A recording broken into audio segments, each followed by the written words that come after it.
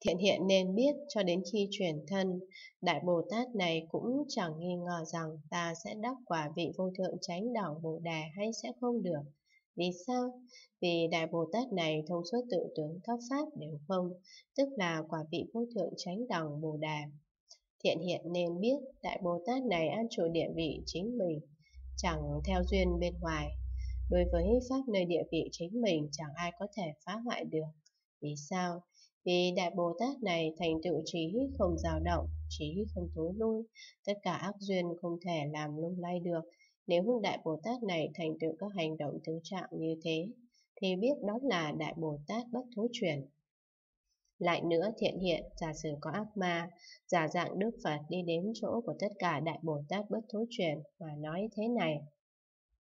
Này ông nên cầu quả A-la-hán, chấm dứt các lậu, chứng nhập Niết Bàn, Ông chưa nhận thọ ký Đại Bồ Đề, cũng chưa chứng đắc vô sanh pháp nhẫn.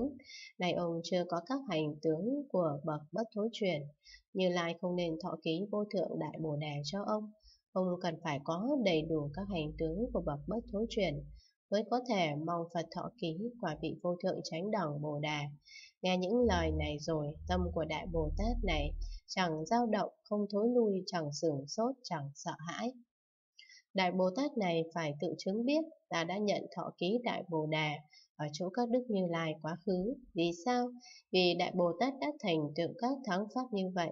Chắc chắn chư Phật sẽ thọ ký Đại Bồ Đà. Ta đã thành tựu các thắng pháp như thế. Lẽ nào Thế Tôn chẳng thọ ký cho ta? Vì thế nên chắc chắn ta được chư Phật quá khứ thọ ký Đại Bồ Đà. Nếu Đại Bồ Tát thành tựu các hành động tướng trạng như thế, thì biết đó là Đại Bồ Tát bất thối truyền. Lại nữa thiện hiện, giả sử có ác ma hoặc sứ giả của ma, giả dạng Đức Phật, đến chỗ tất cả Đại Bồ Tát bất thối truyền thọ khí hoặc thanh văn hoặc bậc độc giác cho Bồ Tát và bảo Bồ Tát. Thiện nam tử cần gì quả vị vô thượng chánh đẳng Bồ Đà sanh tử luân hồi miệt mài chịu khổ. Hãy mau chứng vô giờ niết bàn, chấm dứt sanh tử, an vui hoàn toàn. Nghe lời ấy rồi Đại Bồ Tát này nghĩ như vậy.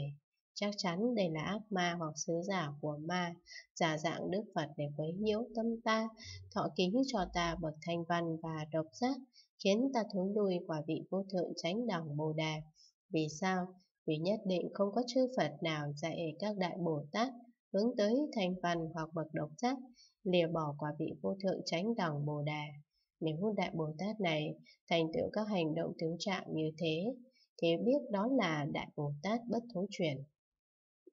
Lại nữa thiện hiện, giả sử có ác ma hoặc sứ giả của ma, giả dạng Đức Phật đến chỗ tất cả Đại Bồ Tát bất thối chuyển mà bảo, kinh điển Đại Thừa mà ông đã thọ trì, chẳng phải Phật thuyết, cũng chẳng phải đệ tử Phật thuyết, đó là các ác ma hoặc các ngoại đạo, vì dối gạt ông nên nói như vậy, để ông chớ nên thọ trì đọc tụng.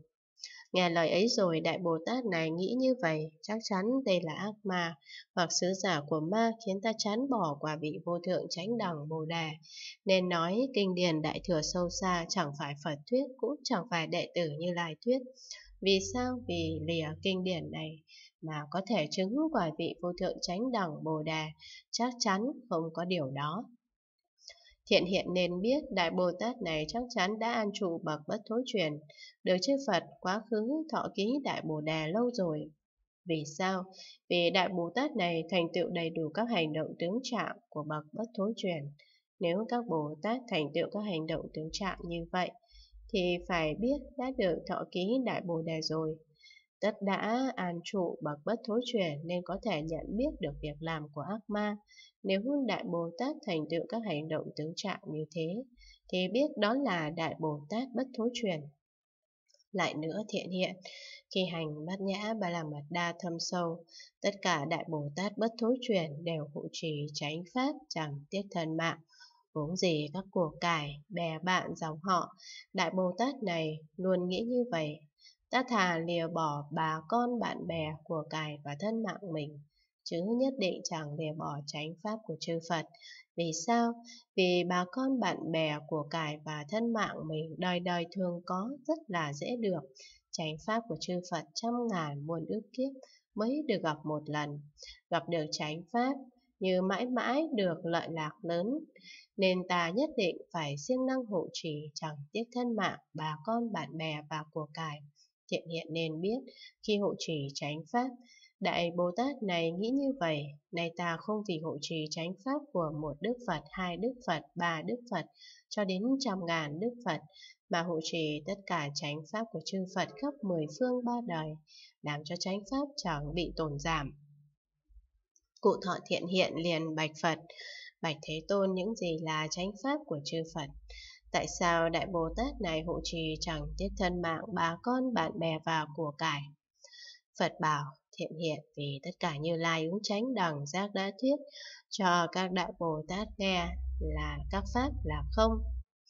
Như vậy gọi là tránh pháp của chư Phật. Có hàng ngu si chê bài hủy báng rằng đây là phi pháp phi luật, chẳng phải thánh giáo mà đấng thiên nhân sư đã nói. Tu học pháp này chẳng chứng quả vị vô thượng chánh đẳng Bồ Đề, chẳng chứng niết bàn tịch tịnh an vui.